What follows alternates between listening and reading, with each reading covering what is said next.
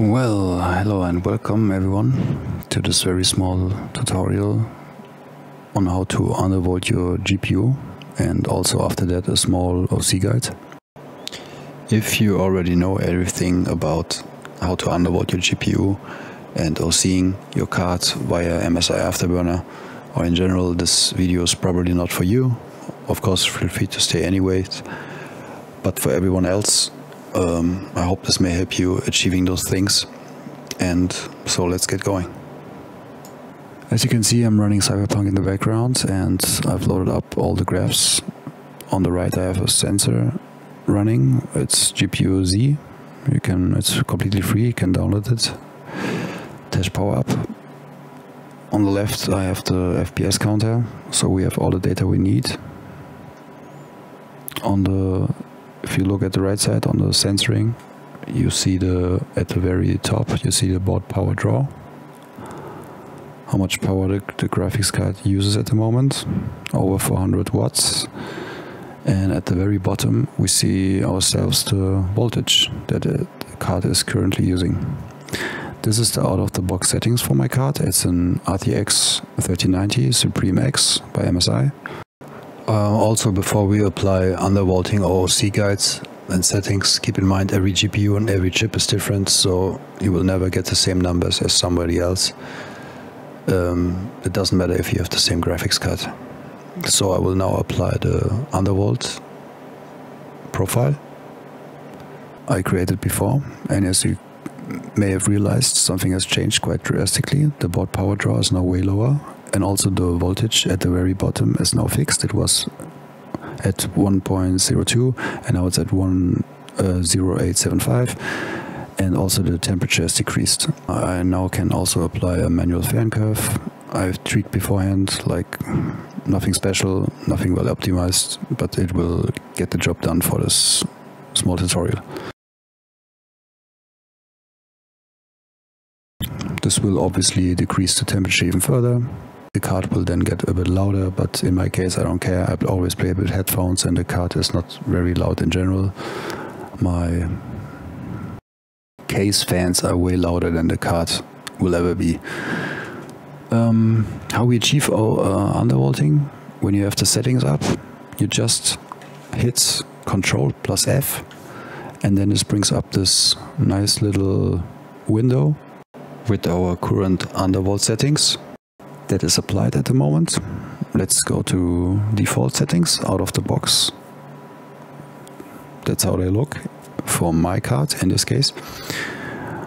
How we do undervolting now is we press Alt and keep pressing Alt key on your keyboard and then pick with your mouse any spot, it doesn't really matter, and then just press and drag it down a bit while holding the Alt key to go down, obviously don't go up and be moderate. Don't go all the way to the bottom. That doesn't make any sense because we want to achieve a high clock speed as well.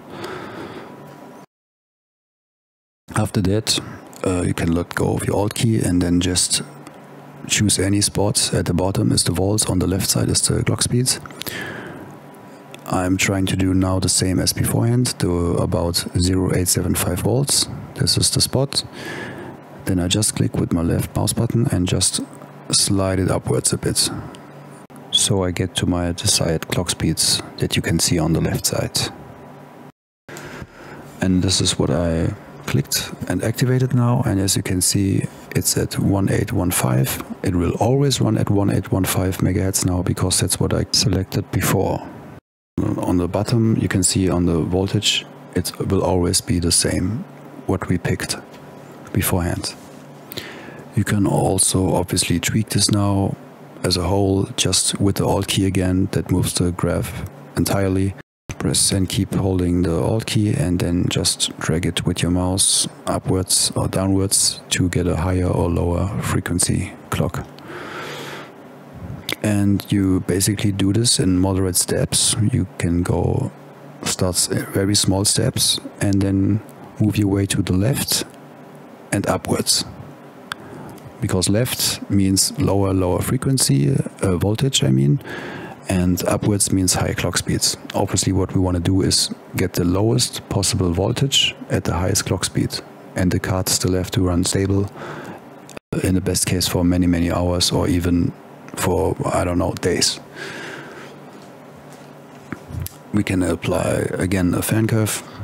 Just feel free to experiment with that. Um, it's really self-explanatory. And then um, just pick a profile again save it. You can also tick some boxes for that it starts always with windows and minimized so you don't have to do this whole thing again. And that's basically it when it comes to undervolting I think I covered everything that's that you guys need to know when we come to OC now we don't need the, the, the graph on the left side anymore, so just be in the settings.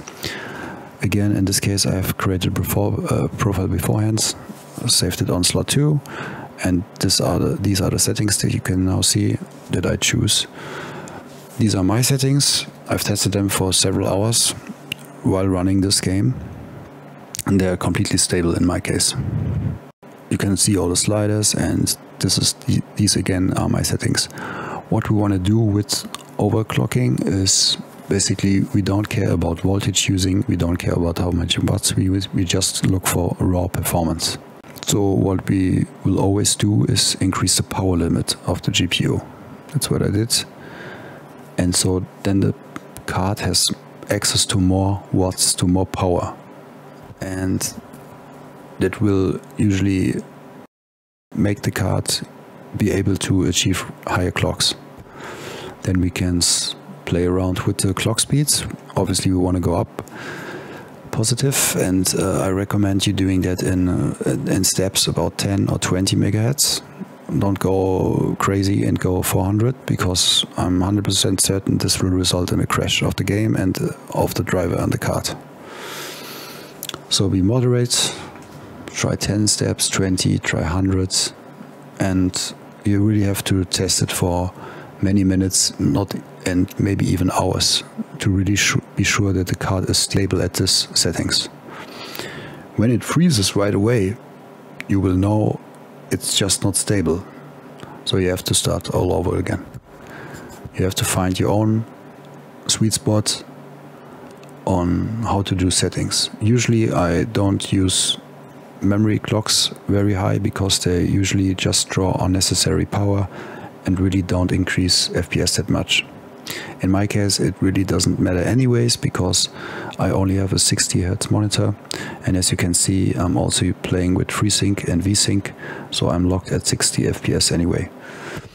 Um, I'm playing on 4K, uh, my, just my monitor cannot handle more than 60 Hz and I don't really need it. I'm really happy if it runs at 60. So in my case, I don't really use overclock that much, but obviously people always uh, most of the time have 120 hertz monitors 144 uh, monitors and that if you want to have this extra fps then uh, this is the way to go you can also achieve the same with undervolting but mm, probably not it's it's just to get a, a more stable and more effective way of playing so these are both ways on how to treat your cards.